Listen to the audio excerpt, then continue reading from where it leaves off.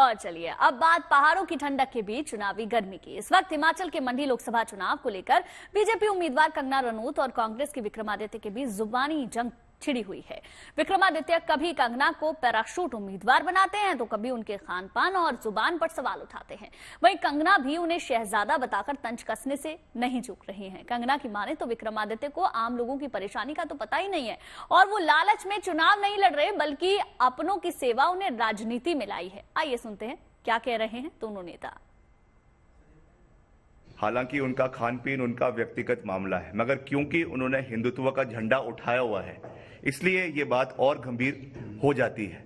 इसलिए मेरा आरएसएस से, जो एक बहुत ही रिस्पेक्टेड ऑर्गेनाइजेशन है, राष्ट्रीय स्वयंसेवक संघ, उनसे मेरा ये निवेदन आज भी है, आज भी मैं उनसे विनम्रता से ये निवेदन कर रहा हूँ कि वो अपनी स्थिति स्पष्ट करे।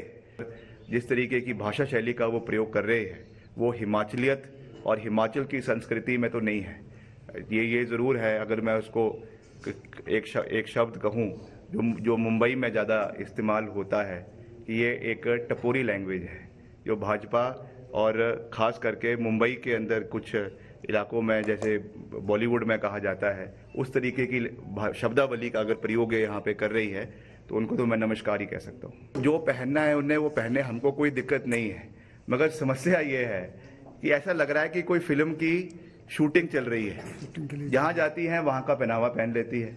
उनको लग रहा है कि ये कोई कोई जो है इलेक्शन का कैंपेन नहीं है कि कोई जहाँ जहाँ के वहाँ पे फ़ोटोज़ खींचना शुरू कर देंगी। इस, ऐसे ऐसे चुनाव नहीं लड़े जाते। जैसे कि शहजादे हम देखते हैं एक दिल्ली में है शहजादे बहुत बड़े माता पिता की संतान। और फिर हम देखते हैं उत्तर प्रदेश में भी एक और बिगड़े हुए शहजादे।